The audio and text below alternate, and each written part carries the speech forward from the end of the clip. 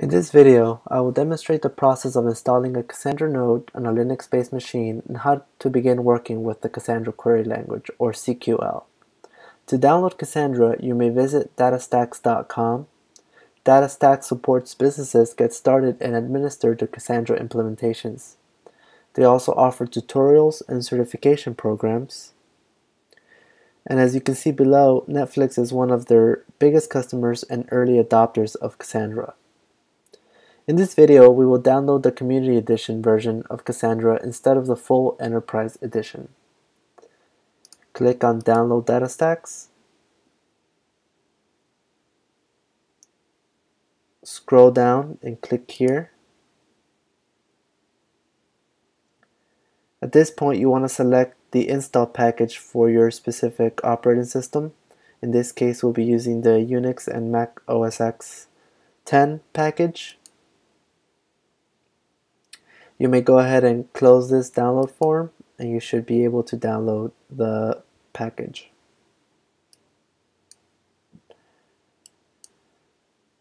Once the download is complete, you will have the following package on your destination folder. In this case, it's our desktop.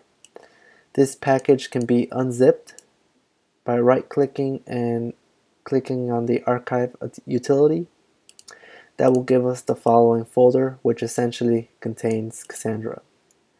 Before you begin running Cassandra, you might want to visit the DataStax installation page for Cassandra. This um, is a checklist where you can make sure you have all the prerequisites in order to have a successful uh, running version of Cassandra.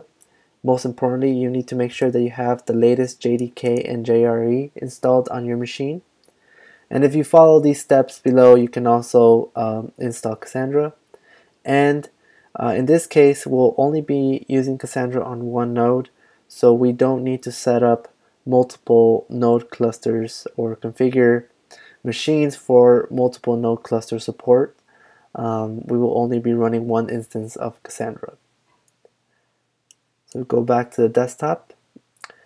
So we're ready to run Cassandra and the first step will be to open a new terminal window. At this point you need to navigate to the Cassandra folder which is in my desktop and navigate to the bin directory. To double check that you are in the correct directory you can type ls and you should be able to see the Cassandra executable there. At this point, you want to run Cassandra dash F. Dash F just keeps all the uh, processes in the foreground so you can see uh, that Cassandra is running. Hit enter and Cassandra is booting up. While this is loading, you can go ahead and open another terminal window.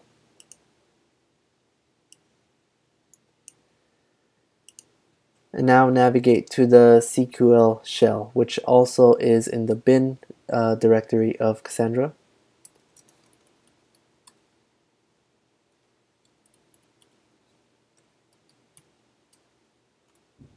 To check that you're in the correct directory, you can type ls, hit enter, and you should, should see cqlsh,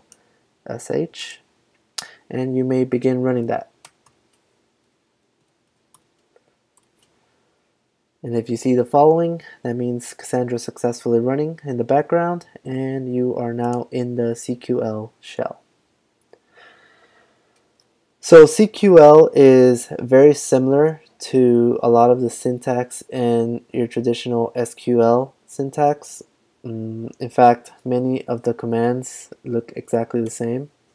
So we type help, you can see that many of the commands are fairly similar.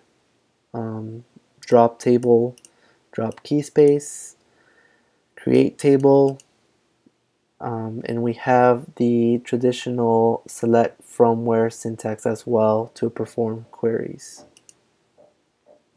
I'll run through a simple um, creation of a key space.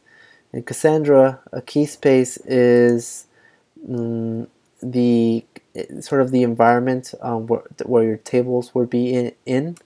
Um, this is where you set the replication factor and many of the other settings that can be uh, configured by Cassandra. So that is the first step. So we can enter here, create key space, um, CQL test with replication. This is this um, enables the defaults and you can set the replication factor to be um, any number you like really in this case since we're only running on one machine and and so one node we can only really replicate once. Um, but you can replicate as many times as you like here. Change to five but it won't really do anything at this point. Hit enter. And that has created a key space. So any tables that are created within this key space will will run under this simple strategy. And will will be replicated five times. Now we can begin creating tables inside this key space. We can use CQL test and write something very similar to an SQL create table uh, command.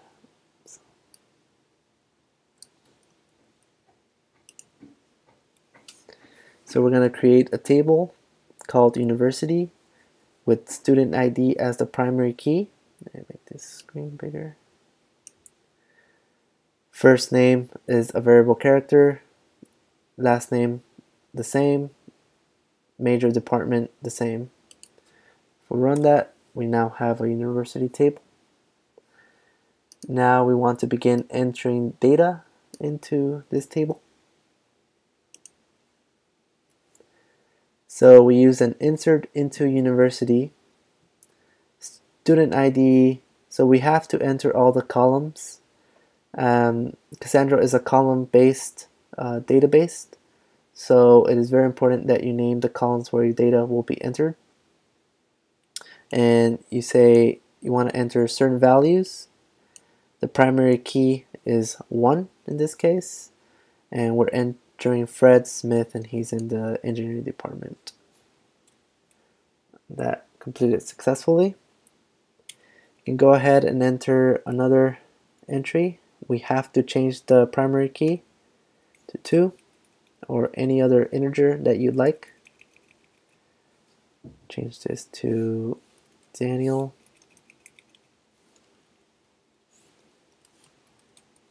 Uh, also in engineering and hit enter. And just like SQL, you can select from, sorry, select asterisks to show us all of the entries from university enter and it will show us all of our entries so far.